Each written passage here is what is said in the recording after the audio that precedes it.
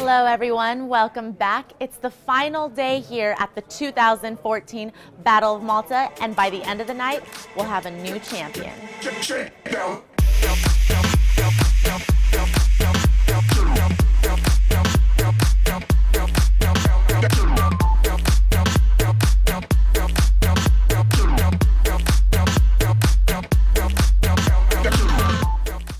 35 players made it to day three of this year's Battle of Malta, and it didn't take long to reach the final table. Eight different European countries were represented, and one by one the players fell until it was just Antoan Katsarov and Alan Brincat left battling it out for the huge first place prize and trophy.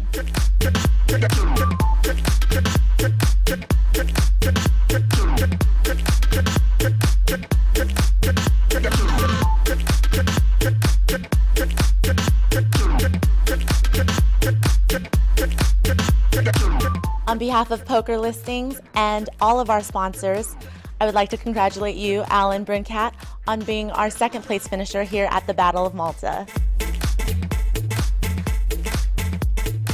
And now for our 2014 Battle of Malta champion, Antoan Katsarov. Congratulations. Thank you very much. Thank you. Ooh, so heavy. It's very happy. Antoine, can you please share with us how does it feel right now to know that you have won the biggest poker tournament in Maltese history? It feels great.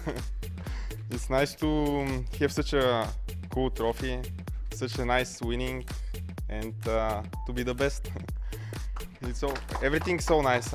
I'm just I just love it. Thank you very much. Can you please share with us a little bit about your experience with poker um, and just how you've managed to find yourself in this spot now?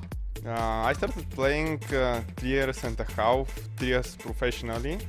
I'm I started uh, with uh, PokerStrategy. Now I'm their coach, video producer, and uh, hand evaluator.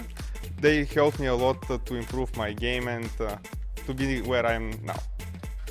So, what does this kind of money mean to you, and what kind of freedoms do you see yourself uh, that will come out of this? It's going to help me to play the highest NTT NC10 goal stakes and uh, be one of the best. Well, congratulations to you both, and uh, great, great run. Thank you very much. I'm Maria Ho here at the Battle of Malta.